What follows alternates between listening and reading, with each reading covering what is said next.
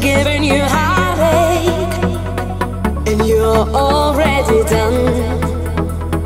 But you just know only one thing: your time is going to come. We gotta.